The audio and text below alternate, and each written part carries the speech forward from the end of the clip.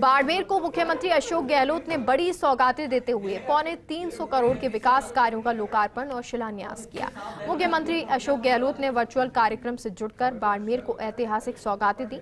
ये रिपोर्ट देखिए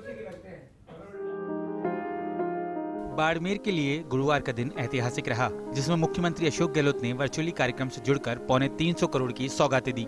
सीएम गहलोत ने उच्च शिक्षा, चिकित्सा और यातायात को सुगम बनाने के साथ ही आमजन की सुविधाओं के लिए विकास कार्यों का लोकार्पण और शिलान्यास किया। मुख्यमंत्री अशोक गहलोत ने बाड़मेर को एक करोड़ के नवीन अस्पताल और यातायात सुगम बनाने के लिए रेलवे ओवरब्रिज और अंडरब्रिज का शिलान्यास किया।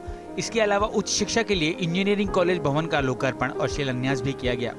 साथ ही मुख्यमंत्री अशोक गहलोत ने हरसाणी फाटा से दूधाबेरी तक सड़क मार्ग का भी शिलान्यास किया।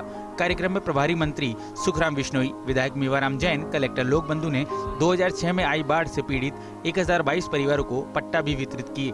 कार्यक्रम को संबोधित करते हुए सीएम अशोक गहलोत ने कहा कि बाड़मेर में पौने 300 करोड़ के विकास कार्यों के लोकार्पण और शिलान्यास से आमजन को सुविधाएँ मिलेगी। इन विकास कार्यों के चलते ही बाड़मेर की पूरी तस्वीर बदल चुकी है। बाड़मेर में तो कायाकल्प है। बाड़मेर वासियों को तो जितनी बधाई देवे, उतनी कम है।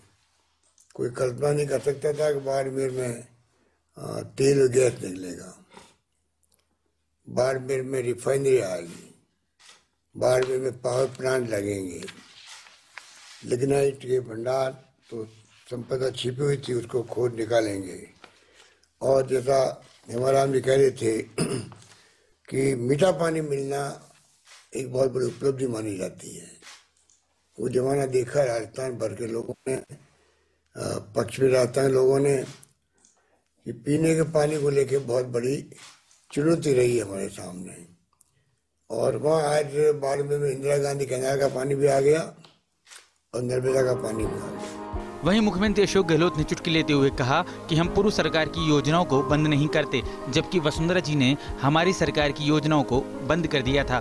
वहीं केंद्रीय मंत्री कैलाश चौधरी ने भी बाड़मेर की सौगातों पर मुख्यमंत्री अशोक गहलोत का आभार जताया। वहीं प्रभारी मंत्री सुखराम बिश्नोई और विधायक मेवाराम जैन ने भी मुख्यमंत्री अशोक गहलोत का आभार जताया। कोई सरकारें तो देखो डेमोक्रेसी बदलती रहती है।